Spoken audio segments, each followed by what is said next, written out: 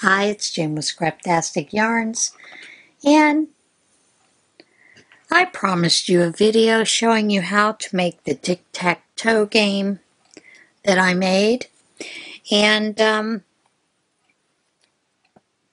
I started the video, and I had to go away for a few minutes, and I forgot, just never got back to it. Then yesterday I planned on videoing, but I had to go to State College to pick up some fabric.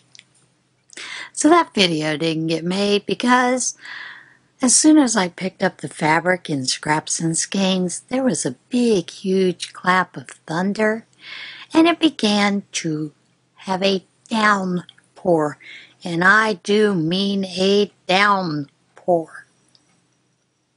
I was soaked but I still had other things to do while I was there in State College.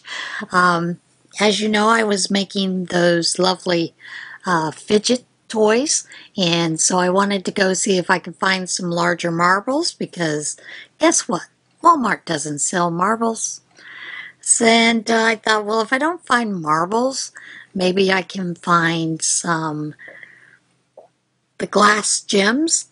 And um, they had two packages of the really large gems that are about one and a quarter inches, which will really work well in those little tubes and those things.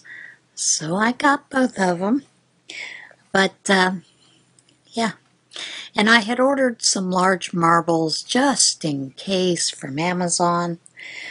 So I get home, it's soaking wet, and they're delivered and the box is soaking wet. And I had ordered quite a few other things because of the craft fair. I needed a couple of things. And I needed um, some more bags for shipping. So it all came together in this box. The box was soaking wet. I picked the box up. Of course, it disintegrated. And the box had marbles in it. And the marbles, the packages of marbles were open, so several marbles got loose. So I was chasing marbles in the rain. It was a lot of fun, what can I say? Now, I am going to show you today how to make this. So let me get everything set up and we'll get ready and get it started. All right, we are ready to go and here is what you are going to need. You're going to need at least three colors of yarn and um, these just yarns from the Dollar Tree are just perfect. They work out fine.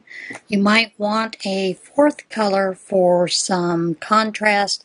I don't know which one I'm going to use for contrast. I do know I'm going to start with this one. But the other thing you're going to need is, get these guys out of the way.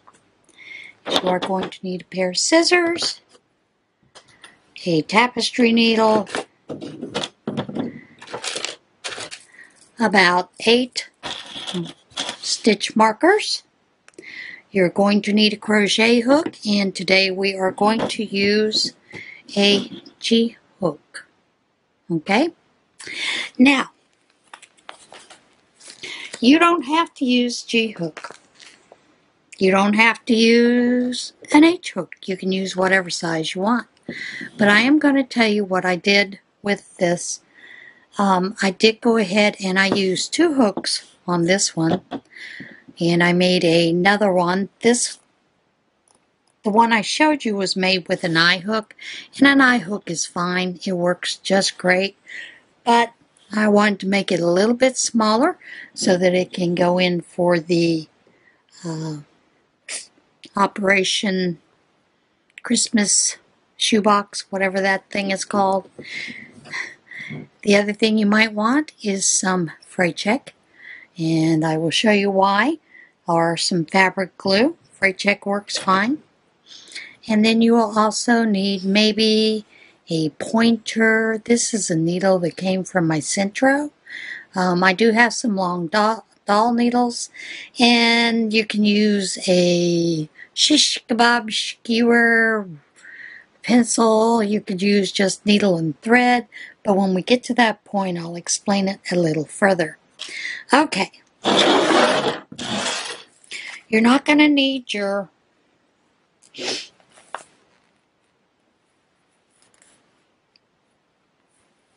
stitch markers just yet. And I like to work from the center.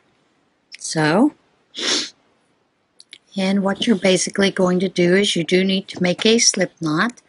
And this is the way I make a slip knot. I twist, bring through, and then tighten up, and there's my slip knot. You are going to chain 37 with whatever hook size you are using.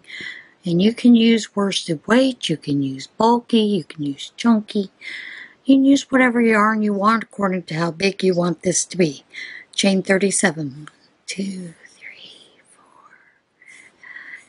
7, 8, 9, 10, 11, 12, 13, 14, 15, 16, 17, 18, 19, 20, 20, 21, 22, 23, 24, 25, 26, 27, 28, 29, 30, 1, 2, 3, 4, 5, 6, 7. Now, I work in the back bumps. You don't have to, but that's how I choose to do this. And I turn my working into my second bump from the hook I do a half double crochet and you are going to do that all the way down to the very last stitch. And you can double check you should have 36 stitches. Do you have to go with 36 stitches? No but I chose 36 because it is divided. You can divide it by 3 to get 3 sections. That was the method to my madness.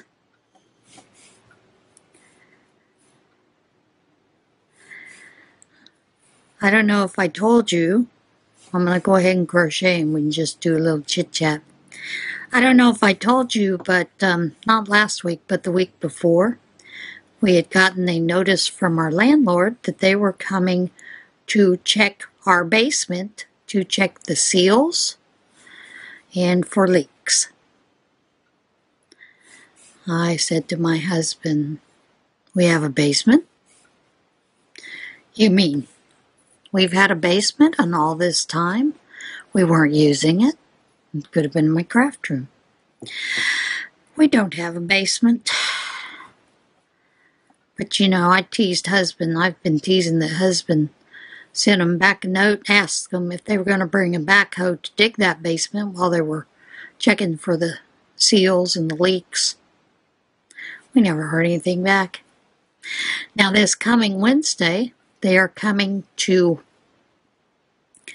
supposedly change the air conditioner filters, uh, clean out the vents you know, like the bathroom vents, and check for leaks.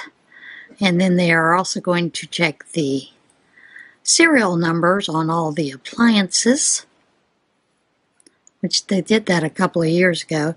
Nothing has changed. We don't use their air conditioner, so they can do whatever.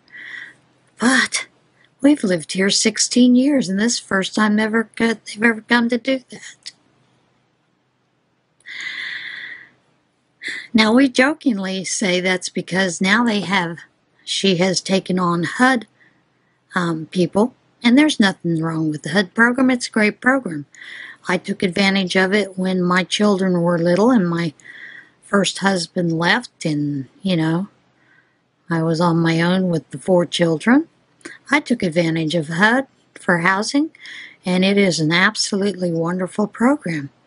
But with HUD, you have to do certain things, maintenance, on a regular basis now. Now, that is something that Ben Carson was able to manage to get through. In the past, they just had some very limited things they had to check, but now they have more items they have to check. Now, when you're ready to do your next row, you're just going to, you can either chain one or not, but you're just going to do a half double crochet in the first one and in each stitch cross And you will continue to do that until you have a piece that when you fold it down catty corner is square. Can I tell you exactly how many rows it is? I do know that on the larger piece it was 38 rows. I don't know what it was in the smaller piece, but let's double check. Yeah, I worked ahead. So you guys turn off the video and uh,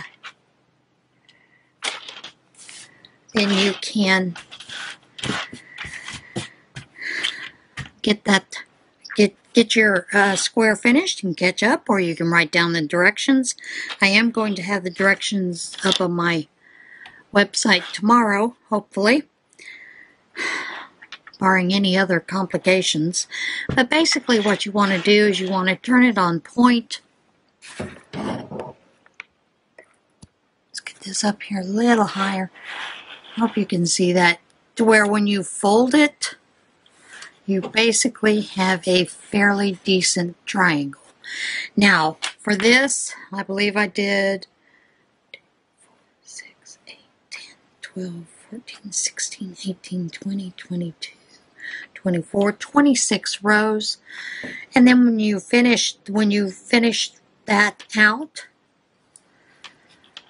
what I like to do is, and you can do this because let's pull this other one out.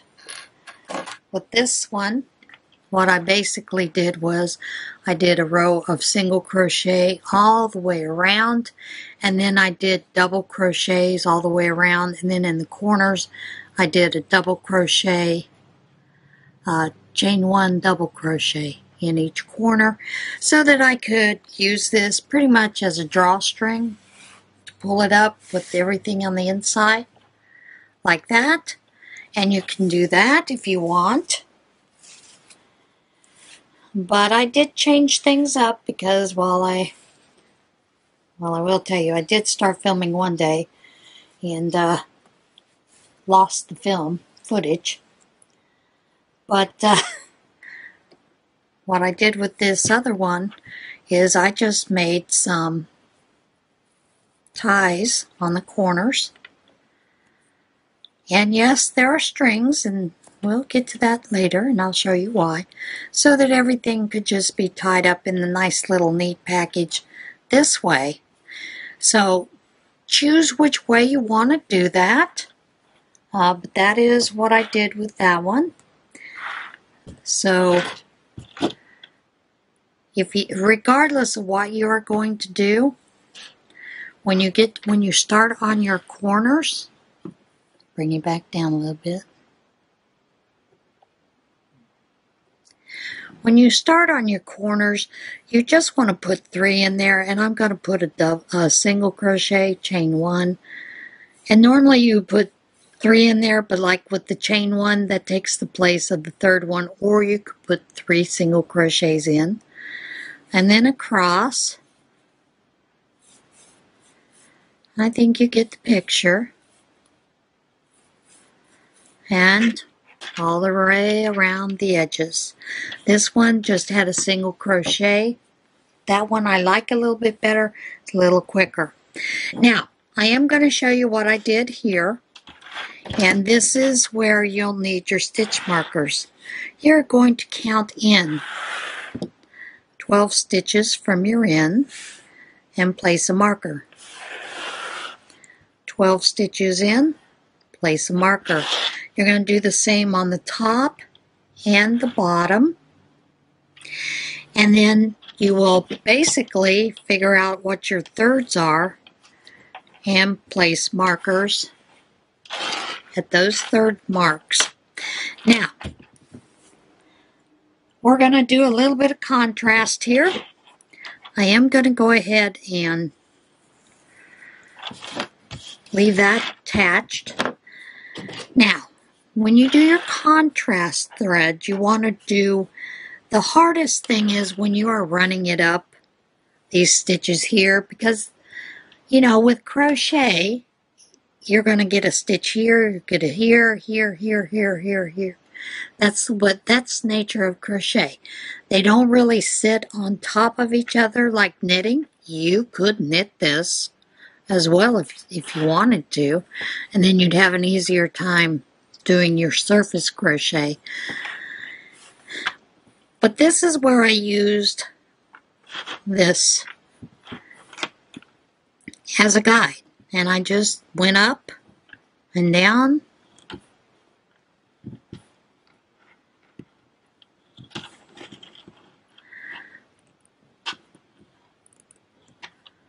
So I had a guide and since I've pulled those big holes out, I can still see those nice big holes. And this is where you're going to use some contrast thread.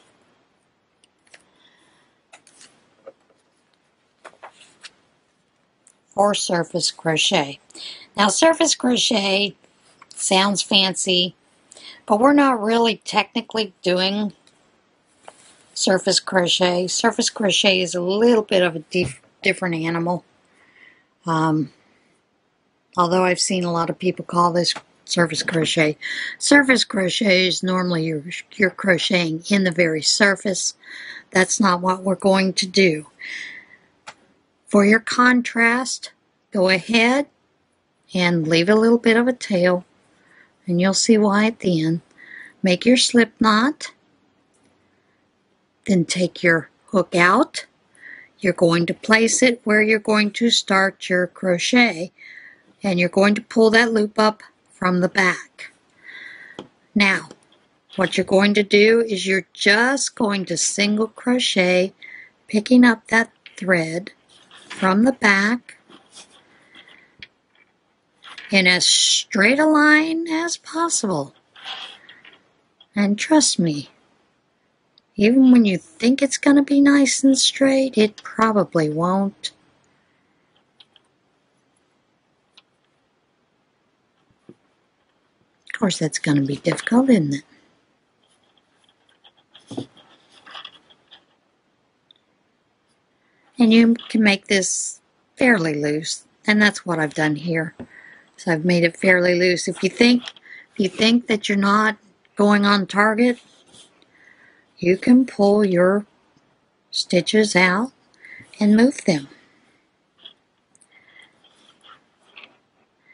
And this is probably the most difficult part of this project. And it's a little easier when you're not sitting on a table trying to do it and you can just hold it in your lap.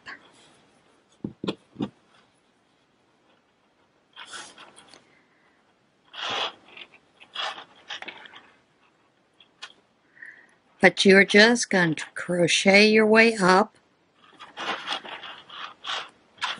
in as straight a line as possible to your next stitch okay? Now when you get to these side ones they're a little easier because you've got rows and you can just stay in the rows. And you're just going to do that. You're going to do two this way and then you're going to do two this way. And that is it. And yeah, I'll finish this later, but this is down and dirty, quick and easy. Okay, guys? Now we're going to get to where I use the my contrast and what I used for my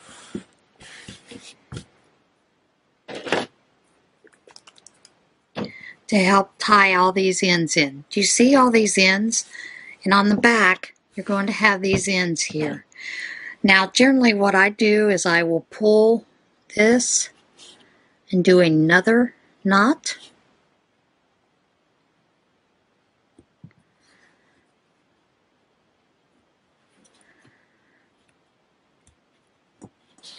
And then you're going to take your fray check or your fabric glue. Just place a dot there. You're going to let it dry and then you can snip it very close and it shouldn't unravel, come undone on you. Now, I would tell you on this one, I wove it in this way and then back this way. So I'm just going to place a little there. Same thing here.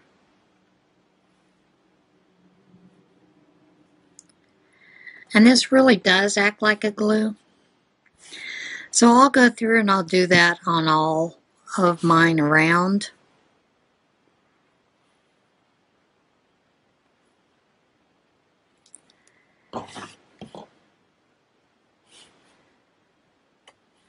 Let it dry and then you can clip it off. Now when it came to the corners, what I did is I took a nice long chain and chain, took a nice big loop, went into the corner, attached it, and then crocheted about 26 stitches on the shorter end and 31 on the long end. And yes, I did go ahead and on these first few stitches, I crocheted my tail in there. So, you know, I'm going to dab it. And then when I got to the end, finished off, tied it in a knot, and yes, I will dab this one as well. Let it dry. But um, on caddy corners, you'll want to do a caddy corner. You'll chain 21, 24, 26, whatever you think you need. Same thing on the opposite end.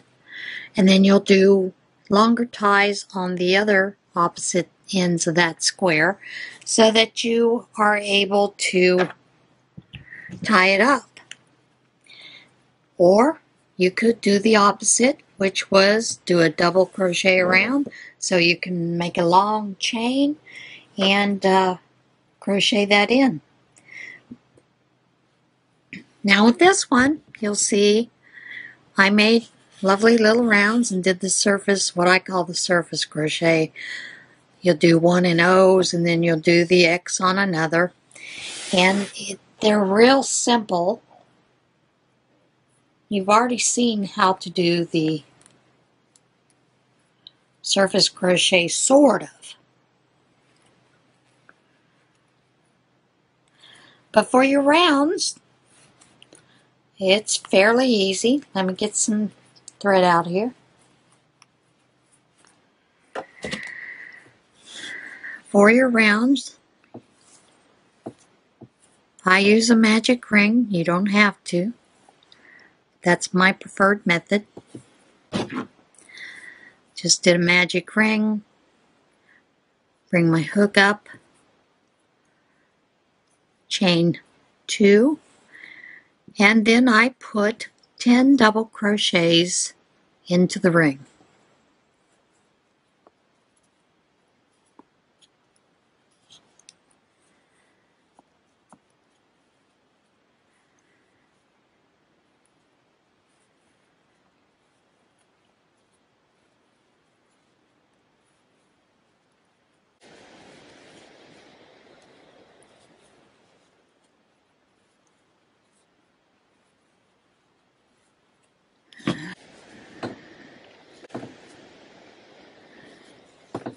Got lost, guys.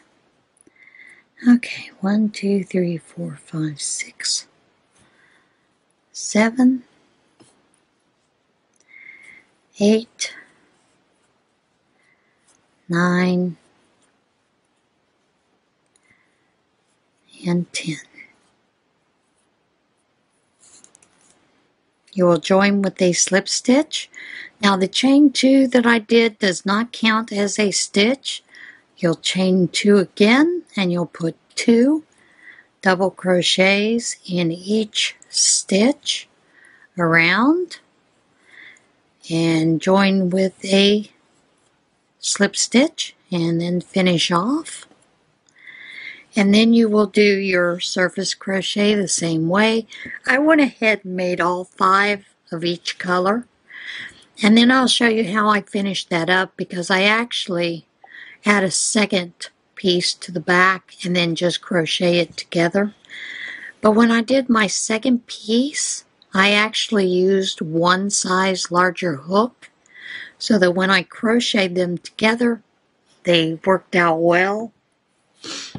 And the way that I did that is, of course, I joined it, started crochet, did a single crochet, and then two in the next, single, then two in the next, joining all the way around.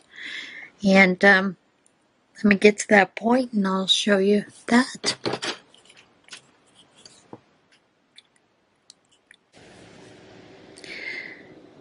After you've done your second round, you're going to do chain one, and then you'll place the back sides together, go into that same stitch, do a single crochet, and you're just going to crochet these around together. This is my back piece, this is my front, and you're going to repeat that all the way around. Crochet one, crochet two in the next, single crochet one, two single crochets in the next, single crochet, two single crochets in the next, one single crochet, two single crochets in the next, one, two, I don't know why I keep repeating this. Probably because that's supposedly the way that all good tutor tutorialist tutors do. I don't think you need me to tell you that all the way around, do you? I could if you wanted me to. Get some more thread here, yarn.